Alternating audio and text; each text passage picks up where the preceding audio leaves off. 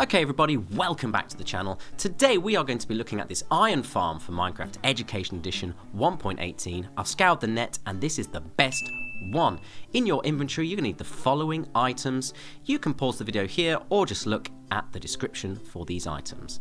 We're going to build a 5 by 9 square hole going down into the ground. We're going to fly down to the bottom of this hole and the bottom two layers, we're going to expand those out by one block in all directions. Then we're going to take a load of beds, 20 in total, and we're going to put two down on each wall just like so.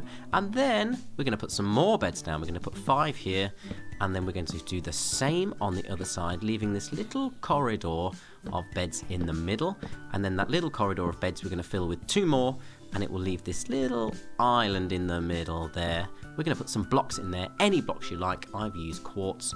Anything that's not flammable should do the job. And we're going to put one in the middle, just there and we're going to put one on top of it. I'm going to use that as a platform to build out from, and we're going to cover up all of those beds, leaving no gaps, just like so.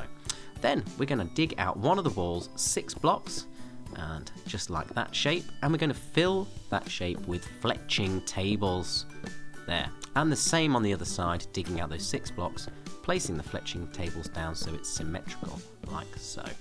The other two walls, there's something very similar going on, four fletching tables in this shape here and the same on that fourth remaining wall. There we go. We're going to put down 20 villagers. Any with green coats like this, we're going to get rid of those. They are a problem. And once that is full of 20 villagers, we're going to start covering this up as well, again with our quartz, just like so. Now, I got a bit carried away and I had to go back in and put a little torch there. So try and get a torch in there before you cover them up. There you go, keep them safe.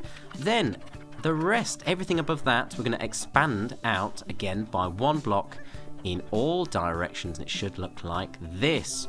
Then we're going to place on two of the corners, we're going to place a block there and next to it just there and then our water bucket gets placed on top of those. And those placeholder blocks we can destroy those now. And it should leave this one little square over there where we're going to be funneling in our iron golems. From that one dry square we're going to knock through slightly. And we are going to dig down a couple of squares here just on the edge of this box. And then into that box is going to be our double chest and then we're going to dig down on our dry square, I'll call it, and place a hopper. The hopper should be placed like this. So if we shift click on the end of the double chest, you can see that it kind of connects to the chest. That's good. Then we can build a little kind of passageway back up to the surface so that we can access our loot without getting burnt by the lava. That would be good. Now this last bit, uh, we're nearly there. We're going to place a block above the double chest and a slab as well. Then are, let's see, let's go ahead and place some three blocks behind it to dry that bit out, stand on there, and then we're going to get a sign and place it on the slab, and then one to the right of the block there above that double chests, and one to the left, good stuff. Then we're going to fill this gap with a block and put a fence on top of it, open, no, no, we'll put a sign on top of the fence, and then open the fence, we have to shift click to get that sign on there, a little bit tricky. And then let's get rid of those blocks and put our lava on the quartz block there. And that's basically your iron farm done. As you can see, they start funneling in.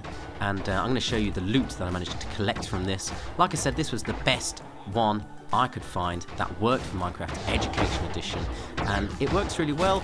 There's the iron golem going in and then if I shoot over to the other side where my chests are, you'll see my loot in there. Guys, thanks for watching the video, and I will see you all later in the week.